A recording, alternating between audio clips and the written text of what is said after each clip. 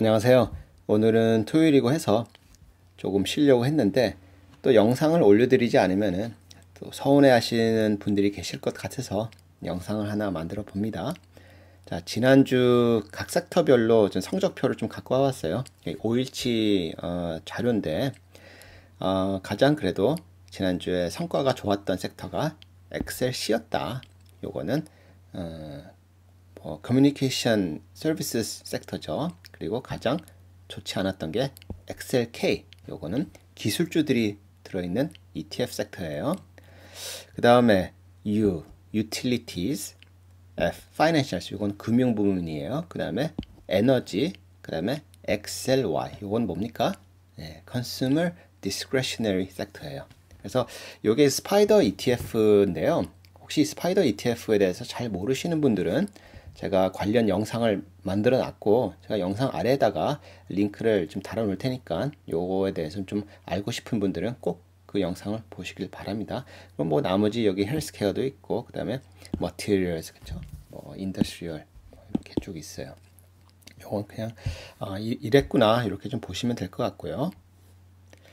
자 그러면은 그 투자자들 투자자들 그 sentiment 심리를 조금 볼 수 있는 그 ETF들이에요. 그 KRE부터 해갖고 XRT가 지난주에 그래도 좋은 성적을 좀 보였다. 근데 KRE가 뭐냐? 요거는 아, 그 local bank, 그러니까 어, 지역 은행 지수예요. 음, ETF. 그래서 이제 요거를 KBW Nasdaq Regional Banking Index라고 하거든요. 그래서 이게 왜 이렇게 많이 올랐냐? 그거는 어제 제가 어, 제 영상에서 다뤘던 채권 금리가 계속 올라서 그래요. 그래서 보면은 요, 요게 3개월치거든 3개월치.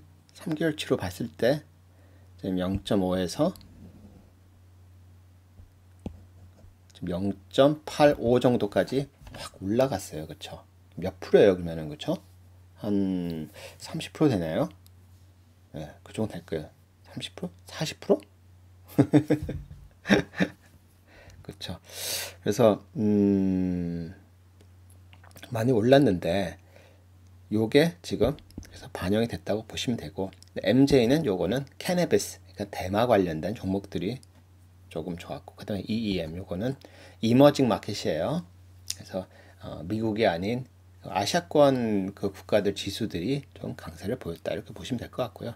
근데 DJT 이건 transport 물류 그러니까 물류 쪽 어, sector도 괜찮았고 FDN FDN은 어, 뭐 대부분 잘 모르시는데 이게 First Trust에서 나온 그 다우존스 인터넷 인덱스 펀드거든요.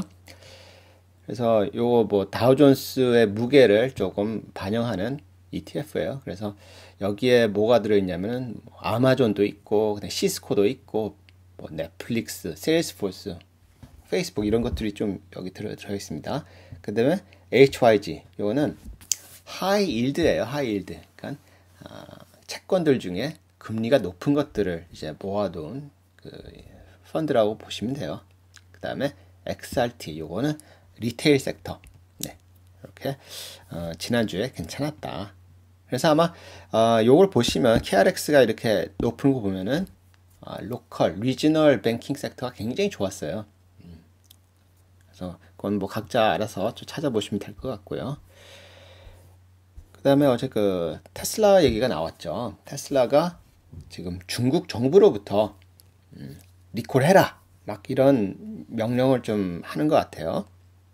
그래서 이 서스펜션 부분에 좀 문제가 있다. 그래서 이거는 다 교체해줘라.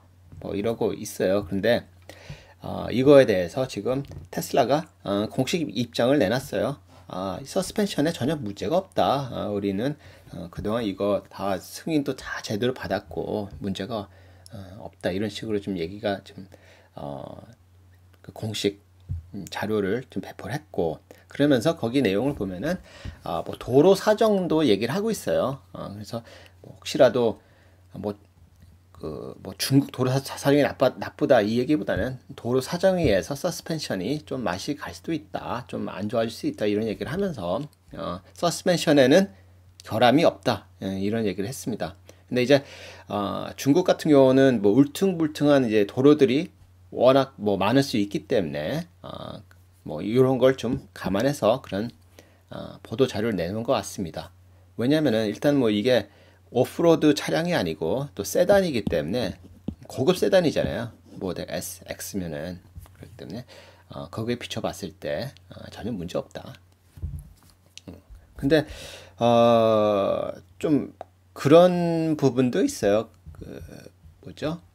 어, 이게 혹시라도 중국이 자국 내 기업을 밀어주기 위해서 이러는 게 아닌가 이런 음, 생각을 해볼 수 있는데 그래서 제가 차트를 가, 갖고 와봤어요. 어, 하나는 니오, 하나는 테슬라예요, 그렇죠?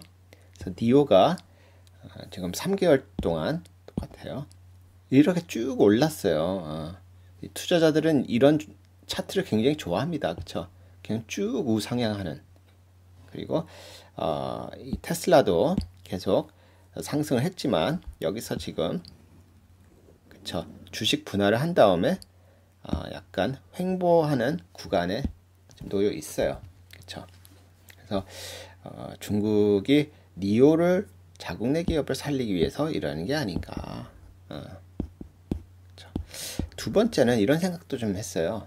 혹시라도 이거는 제 머리에서 지금 나온 건데 이 그 중국은 이제 공산당이잖아요. 그러면 이제 그 중국 그 공산당에서 뭐라고 입김이 굉장히 뭐 절대적이잖아요. 뭐 하면 이렇게 하게 되잖아요. 그러면은 얘네들이 혹시 아야 테슬라 니네 우리 정부에 좀 더 짜옹 좀 해봐. 어, 더 로비를 좀 해봐. 이런 신호를 간접적으로 주는 게 아닌가 로비. 어? 어. 야 우리 돈 더 줘. 음, 약간 이런 식의 어, 압박을 주는 게 아닌가 이런 생각도 좀 들었어요. 이게. 음, 이건 내피셜이니까 그냥 웃자고 얘기하는 거예요. 근데 어, 그럴 가능성도 한 1%는 생각해 보자고요. 음, 이렇게 어, 서스펜션 이런 거 갖고 괜히 어, 딴지 걸면서 야 돈 더 내. 뭐 이러는 게 아닌가 이런 생각도 좀 들고 있고요.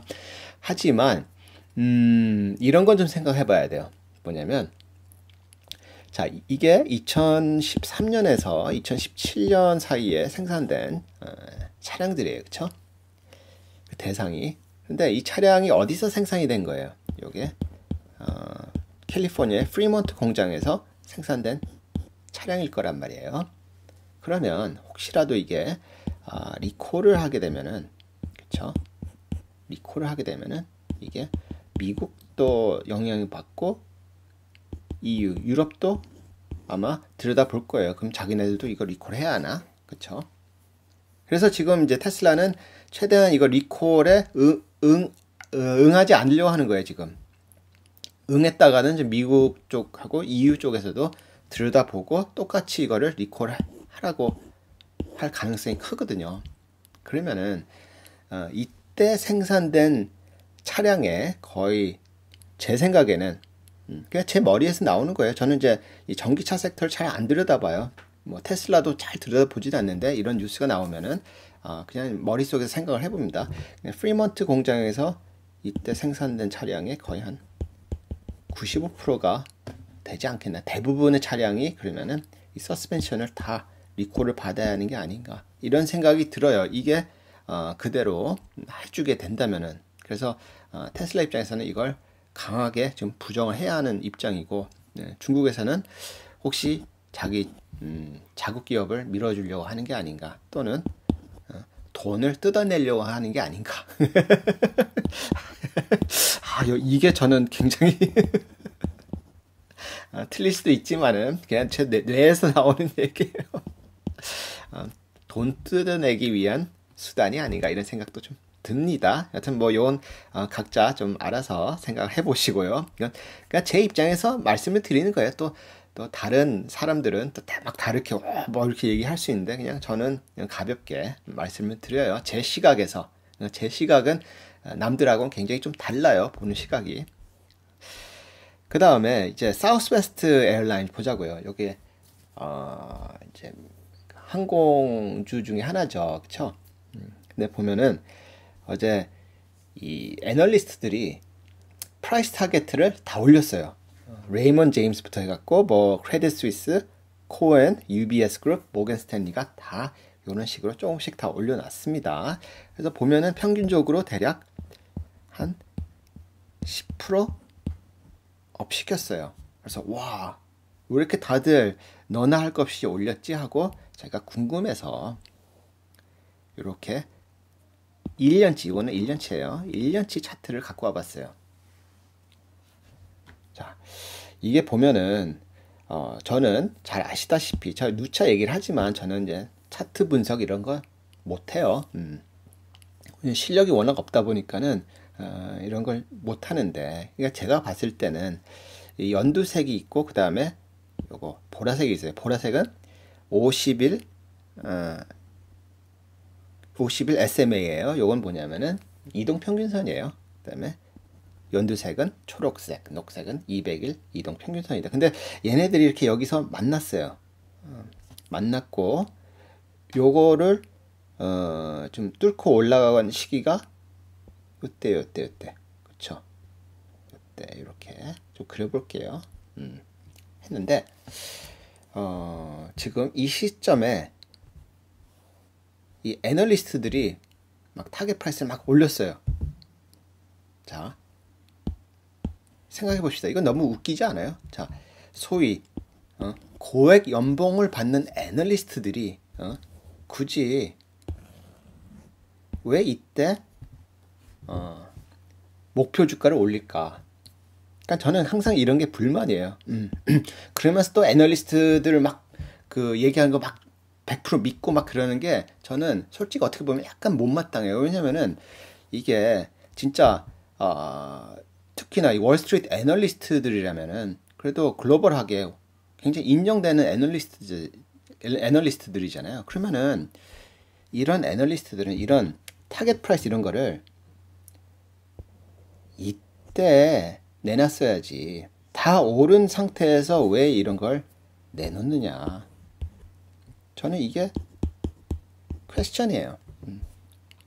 진짜 아, 정말 실력 있는 애널리스트라면은 이때 이 시기 이 시기 때 이렇게 얘기 나왔었어야 돼요. 왜냐면은 요때는 누가 봐도 아래로 갈지 위로 갈지 정말 모르는 시기예요. 근데 분명히 이 애널리스트들도 물론 다른 여러 가지도 봤겠지만은 이 차트를 또 그 중시를 하면서 저런 식으로 아마 내놨었 내놓은 것 같아요. 저, 제 생각에는. 왜냐면은 이렇게 뚫고 안정적으로 올라간 상태에서 이렇게 목표 주가를 올리기가 어, 심적으로 부담이 덜해요. 그쵸? 여러분들이 어, 스스로 본인을 생각해 보세요. 그렇기 때문에 어, 이렇게 이 시기에 올린 게 저는 조금 아, 야 이건 뭐 애널리스트라고 해놓고는 이럴 때 다 올리네. 어, 이건 나도 이렇게 얘기할 수 있겠다. 이런 생각을 할 수 있어요. 물론 이제 주가는 어, 떻게 움직일지는 아무도 그거는 어, 좀 확정적으로 얘기할 수 없어요. 왜냐하면 주식은 폭등할 수도 있고 폭락할 수도 있어요. 근데 이 애널리스트들의 이런 목표 주가 상향을 이때 안 하고 이때 했다는 게 조금 저는 어, 좀 신뢰가 안 간다 아, 이런 생각이 좀 듭니다. 그래서 어, 이 항공주들은 또 어, 접근할 때 좀 조심해야 돼요. 왜냐하면 백신이 아직 나오지 않은 어, 상태에서는 항상 불확실성이 있습니다. 그리고 이 LUV에 대해서 이제 잘 모르시는 분들을 위해서 제가 저도 잘 모르지만 어, 제가 아는 한도 내에서 좀 말씀드릴게요. 어, 다른 항공 어, 회사들 보면은 뭐 유나이티드나 또는 뭐 델타 이런 데는 어, 저게 있잖아요. 국제선이 있어요. worldwide, 글로벌. 어. 글로벌 노선이 있는데 지금 글로벌 노선이 실은 돈을 벌어다 주는 노선이거든요. 장거리고 그 다음에 어, 해외고 그리고 어, 주로 이제 비즈니스 트래블이 많아요. 그 장거리 요 구간은. 근데 요즘 어, 미국 회사들도 좀 해외 출장을 거의 뭐 엄청나게 줄이고 있어요. 음. 때문에 이런 어, 비즈니스석을 사는 콜프레트 고객이 별로 없고 대신 러브는 사우스웨스트는 제가 알기로는 주로 이제 미국 내에서만 움직이는 걸로 알고 있어요. 국제 노선이 없는 걸로 알고 있어요. 뭐 있을 수도 있지만 뭐 제, 제가 알고 있는 한 한도 내에서는 없는 걸로 알고 있어요. 그래서 어, 미국 국내에서는 그래도 어느 정도 이게 수요가 올라가고 있어요. 그리고 얘네들은 뭐 이런 international 이런 노선에 걱정이 전혀 없기 때문에 나름 어떻게 보면 경쟁력이 있다 이렇게 좀 볼 수 있어요. 그렇기 때문에 어, 얘네들이 어, 이런 면에서 조금 얘기를 하는 것 같아요. 네. 그래서 요거 어, 사우스웨스트 에어라인은 이러한 특징이 좀 있다. 어, 이렇게 좀 아, 시면 될 것 같고요. 그 다음에 저기 제가 어, 팀 케이크 어, 멤버십 갖고 계시는 분들 그 온라인 이제 오프 모임을 할 건데 이번 주말에 어, 주로 이제 토요일 날 10시에 좀 했었는데 이번 주는 어, 여기 커뮤니티 게시판에 공지한 것처럼 아, 토요일 날에서 일요일로 좀 바꾸려고 합니다. 이번 주는. 그래서 일요일 오전 10시에 그렇게 되면은 이제 아, 특히 이제 미국 쪽에서 접근하시는 분들은 조금 편안한 시간대에 어, 참석을 하실 수 있을 것 같아요. 그전에는 뭐 토요일 날 오전에 오전 새벽 6시, 5시에 접속을 하셨을 것 같은데 음, 좀 편한 시간에 접속을 하시고 그리고 오전 10시, 일요일 오전 10시면은 또 한국에 계시는 분들도 큰 부담은 없을 것 같아요. 다만 이제 종교 행사나 이런 거 있으신 분들은 시간을 좀 조절하시면 될 것 같고, 그 다음 늦잠 주무시는 분들은 조금, 어, 약간 한 시간만 좀 일찍 일어나시면 될 것 같습니다. 10시니까 오전 10시. 그래서 요걸 할 거고, 그 오늘, 이번 주 일요일은 제가, 어, 이것저것 좀 뭐 무슨 얘기를 할까 했는데, 애플 얘기도 좀 하고 그 다음에 지금 트럼프 바이든 요거 대선 관련돼서 어, 몇 가지 좀 얘기를 할게요. 그러니까 이제 어, 바이든이 됐을 때 어, 떤걸 나는 예상하는가 이런 걸좀 어, 가볍게 커피 한 잔 마시면서 얘기를 할게요. 그래서 어, 그때 그 팀 케이크 멤버들은 그때 되시면 그때 이제 접속해서 저랑 같이 어, 농담 따먹기를 하시면서 뭐 이런 저런 얘기를 좀 하시고요. 하여튼 뭐 이게 도움이 됐는지 모르겠지만 이 테슬라 부분은 그냥 이렇게 요 재밌는 얘기를 좀 해드렸습니다. 하여튼 어, 영상 여기서 마치도록 할게요. 감사합니다.